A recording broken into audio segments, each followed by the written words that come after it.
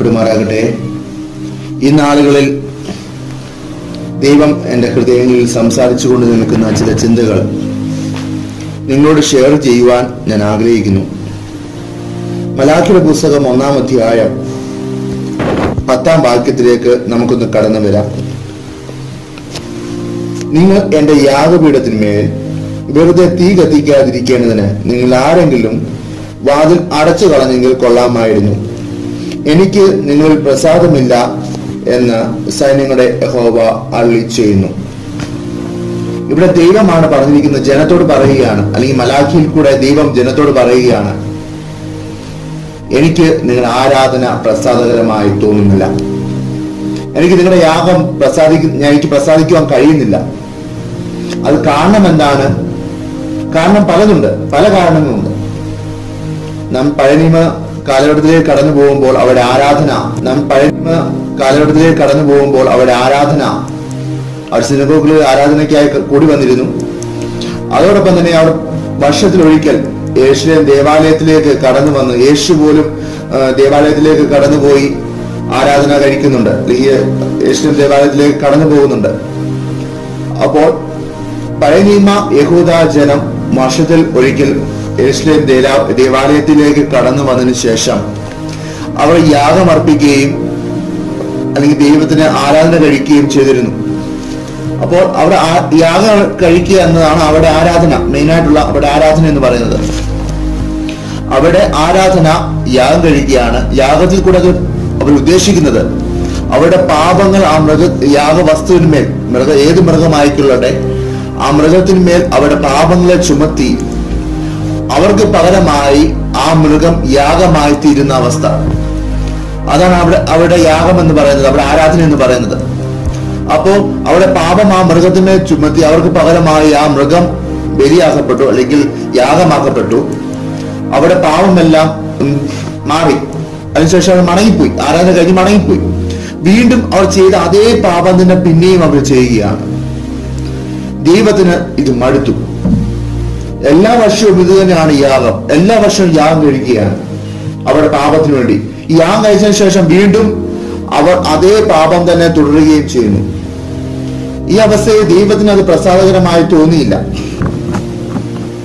അവസാനം ഇവിടെ ദൈവം പറയുകയാണ് ആരെങ്കിലും വാതിൽ അടച്ചു കളഞ്ഞെങ്കിൽ കൊള്ളാമായിരുന്നു. ദൈവമാണ് പറയുന്നത്. നമ്മളും പലപ്പോഴും ഇങ്ങനെയൊക്കെ തന്നെയാണ്. നമ്മൾ പലപ്പോഴും ദൈവസന്നിധി നമ്മൾ ആരാധനയ്ക്കായി കടന്നു വരുന്നു. ദൈവത്തെ ആരാധിക്കുന്നു. നാം എങ്ങനെയാണ് ആരാധിക്കുന്നത്? നമ്മൾ എല്ലാ ഞായറാഴ്ചകളിലും ദൈവത്തെ ആരാധിക്കാൻ വേണ്ടി കടന്നു പോകുന്നവരാണ്. അല്ലെങ്കിൽ വെള്ളിയാഴ്ചകളിലും ആരാധിക്കാൻ കടന്നു പോകുന്നവർ കൂടുതൽ പേര് ഞായറാഴ്ചകളിലാണ് കടന്നു പോകുന്നത് ആരാധിക്കുവാൻ വേണ്ടി.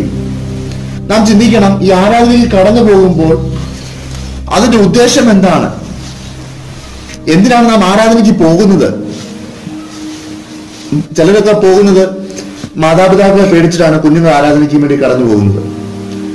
അല്ലെങ്കിൽ മറ്റു ചിലർ പാസ്റ്ററെ പേടിച്ചിട്ട് അല്ലെങ്കിൽ പാസ്റ്റർ പിടിച്ച് വരുമ്പോൾ ചോദിക്കും എന്താ സഹോദരി എന്താ സഹോദര യോഗത്തിന് വരാഞ്ഞത്? അല്ലെങ്കിൽ മറ്റു ചിലർ കൂട്ടു സഹോദരങ്ങളെ പേടിച്ച് അല്ലെങ്കിൽ അവർ ചോദിക്കുമ്പോൾ എന്ത് പറയും? ഏതെങ്കിലും ഒരു സാഹചര്യം നോക്കിയിരിക്കുക. ഒരു കല്യാണം വന്നാൽ കല്യാണത്തിന് വേ- പേരിൽ ആ ആരാധന മുടക്കാൻ കഴിയും. അല്ലെങ്കിൽ മറ്റ് എന്തെങ്കിലും ചടങ്ങ് വന്നാൽ അതിന്റെ പേരിൽ നാം ആരാധന മുടക്കും. അപ്പോൾ നമുക്ക് പറയാനുള്ള റീസൺ ആയി.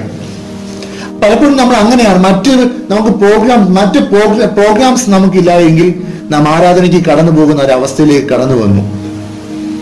ഒരു ദിവാസി പ്രകാരം പറയുന്നത് ഞാൻ ഒരു മെസ്സേജായി പ്രകാരം പറയാൻ പറയുന്നത് കേട്ടു.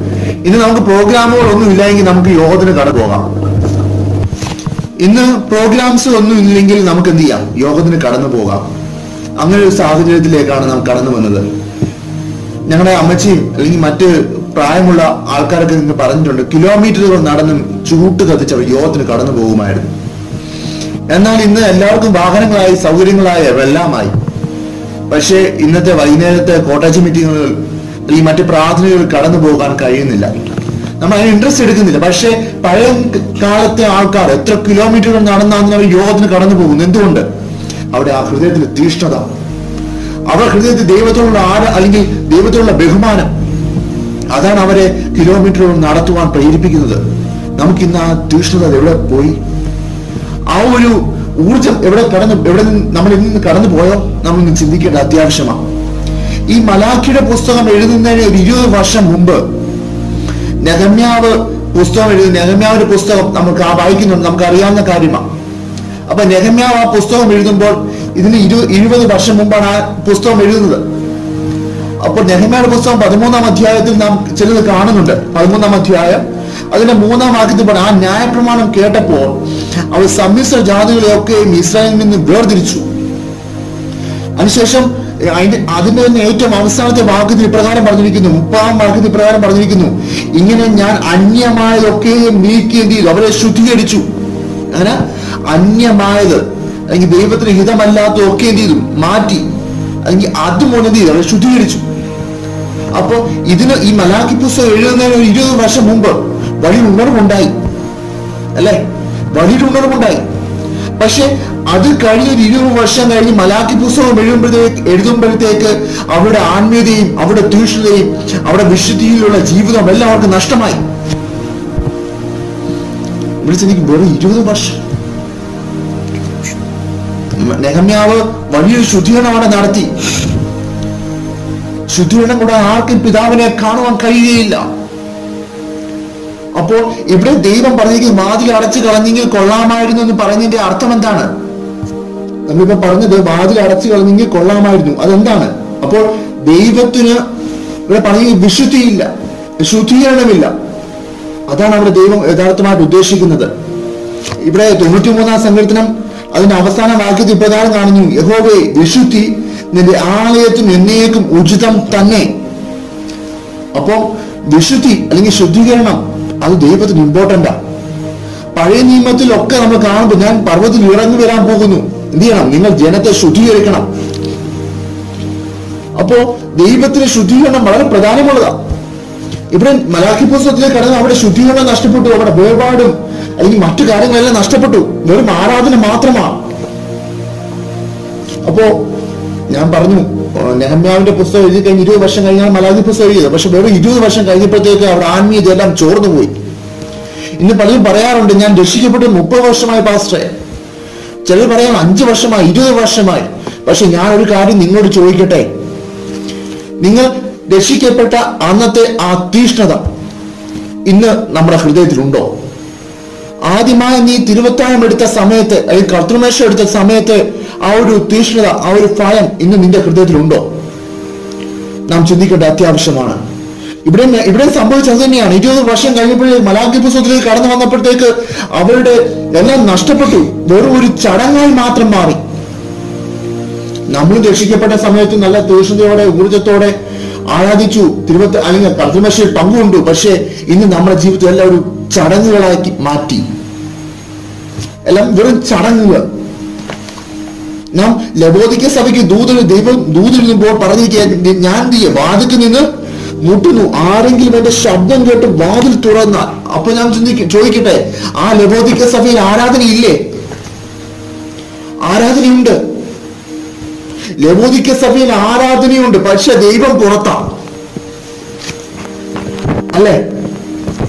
അപ്പൊ നമ്മുടെ ജീവിതത്തിൽ നമ്മൾക്ക് നമ്മൾ കടന്നു പോകുന്നിടത്തും ആരാധനയുണ്ട്. പക്ഷേ എന്തില്ല? ദൈവമില്ല. നിന്റെ സഭയെ കുറിച്ചല്ല നിന്റെ ഹൃദയമാകുന്ന സഭയെ കുറിച്ച് ഞാൻ പറയുന്നത്. നിന്റെ ഹൃദയത്തെ ഹൃദയമാകുന്ന വാദിനെ കുറിച്ച് ഞാൻ പറയുന്നത്. നമ്മൾ ദൈവത്തെ ആരാധിക്കുന്നുണ്ട്. പക്ഷെ നമ്മുടെ ഹൃദയത്തിൽ നിന്ന് ദൈവത്തെ പുറത്താക്കിയിട്ട് എത്ര നാളായി? നമ്മൊന്ന് ചിന്തിക്കേണ്ട അത്യാവശ്യമാണ്.